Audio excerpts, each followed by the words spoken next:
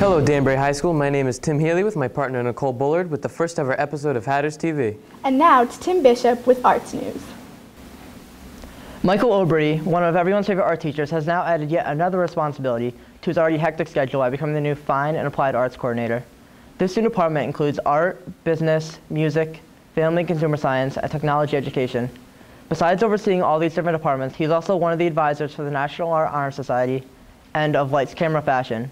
He also teaches three classes a day, two of them being advanced, advanced placement classes. Obrey said he feels it's a very big adjustment, but he likes to know that everyone is on his side. He said it's a very good feeling to have. I'm Tim Bishop, and I'm for Hatters TV. Hello, Danbury High School. Looking to obtain a driver's license? Well, not so fast. In addition to the 25 question permit test, you now have to take a 25 question test known as the DMV final exam. It was issued on October 1st by the Connecticut Department of Motor Vehicles. Robert N. Ward, the DMV commissioner, explains that these tests will help assure the state that teens have good knowledge of the rules of the road. I'm Brandon Lisi for Hatters TV. Despite the widespread thought that the advisory program was going to end last year, Students returned to DHS this fall and continued to go to their advisor class once a week. This is, this is in thanks large part to Dr. Bob Rossi, new DHS principal, who was hired by Superintendent Dr. Sal Pascarella in the Board, Board of Education last June. Rossi, former Desert Edge High School principal, created a successful advisory program at his old school and now is trying to install certain parts of that program into DHS's advisory.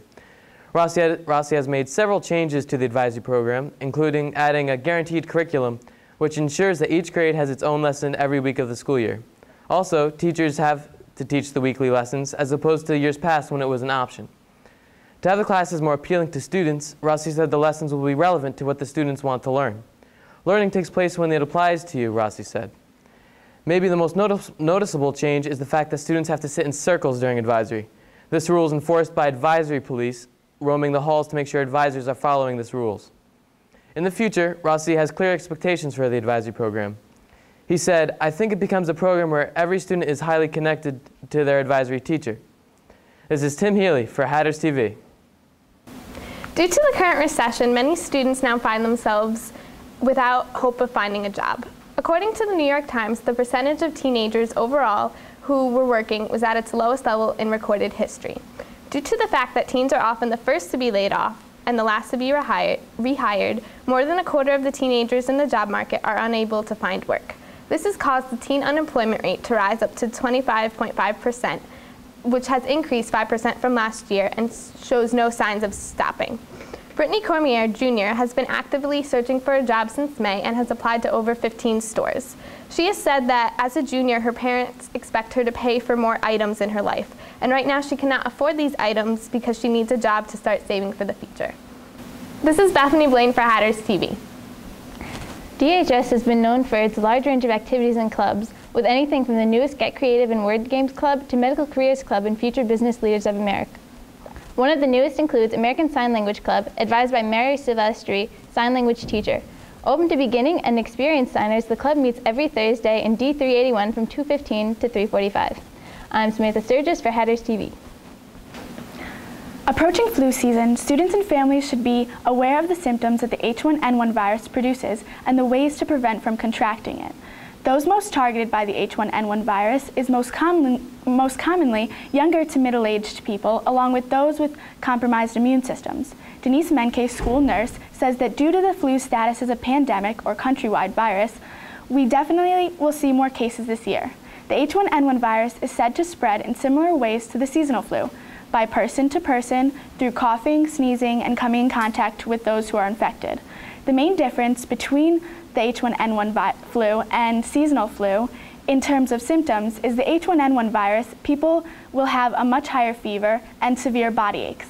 To prevent from contracting the H1N1 virus this flu season, students and families are advised to wash hands frequently, cough and sneeze into their elbows, avoid others who are sick, and if symptoms arise, stay home until 24 hours after the fever has subsided. I'm Nicole Bullard with Hatters TV.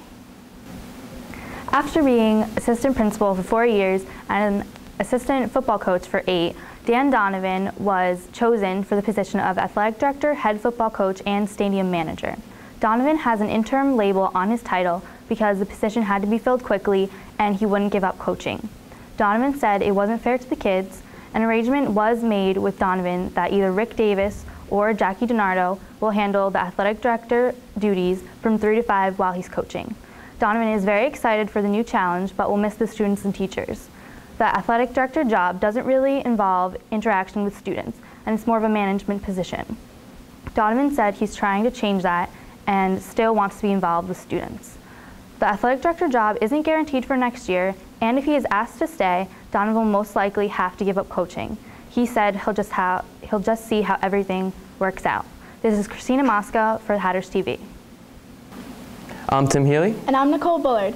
Thanks for watching the news on Hatters TV. Join us next time.